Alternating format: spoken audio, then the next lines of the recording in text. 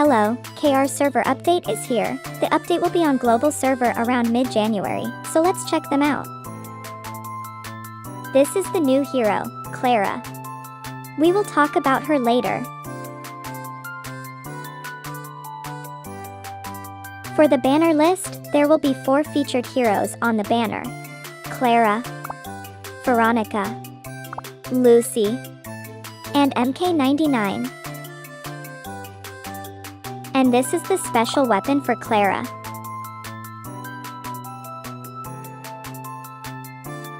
Now let's review her stats. Clara is a ranged fire unit. She uses bow as weapon. Her normal attack cannot pass through obstacles, but her secondary attack is special. It is a buff that empower her normal attacks and change it to flaming arrow that can pass through obstacles. Her chain damage is 320% DPS, which is average, and she has special ability that increase her defense, movement speed, and burning arrow, which makes her potentially good for arena. Her party buff is range damage. Now let's check her stats. Her attack is very high, while having low health and average defense. Now let's check her weapon.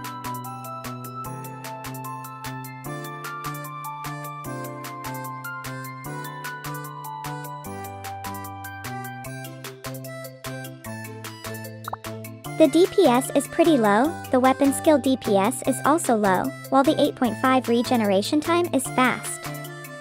Like I said before, she is probably good for PvP because of the movement speed and defense buff. On PvE like Raid she might be an average since she is lacking defense reduced debuff, but still has a good DPS and party buff.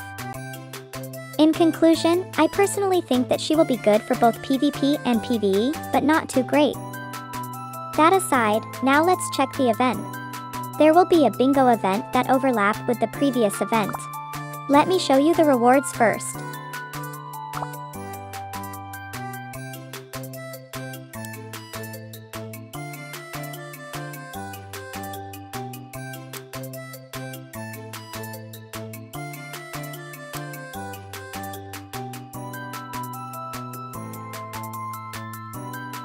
As usual I will show you the list of things you need to do to get max default event points.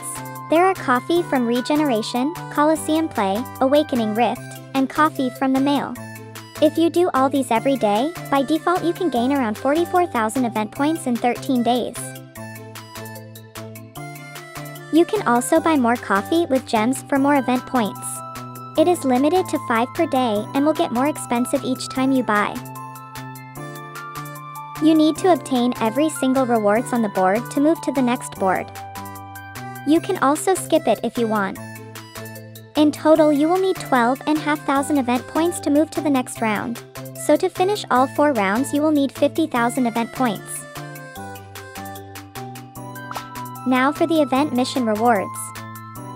As usual there will be stamina mission.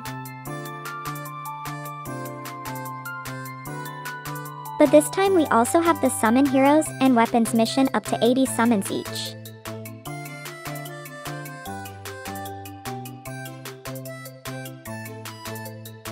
Guardian Pass will feature Elvira, and nothing else is new here. I really hope they put back Awakening Reset here.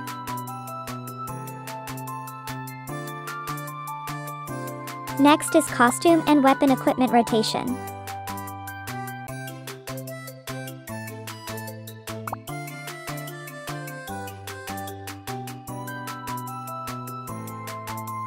Now for the packages. We will have a special Epic Limit Break Hammer pack with 5000 gem.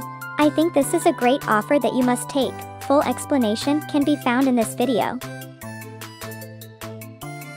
This one is kind of average, but still a good offer if you really need gems. This one I would say is a must take, this is pretty cheap compared to others.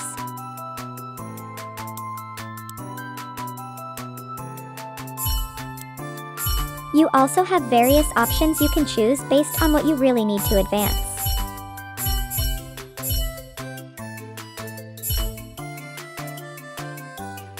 All in all I personally will take this because of the rare legendary awakening stones.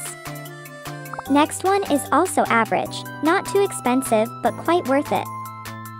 This one is good deal for those who want to buy some gems, but don't want to spend a lot. It has roughly the same rate with the 3 times discount ones, but you can buy it in small amount. And this one is great offer for the whales. Yes, it is expensive, but you get a whole lot of option change and lock option stones. To be honest, the rate of gems and stones in this package is in normal rate, but you can get it all early instead of next month, and get a lot of gold and EXP bonus.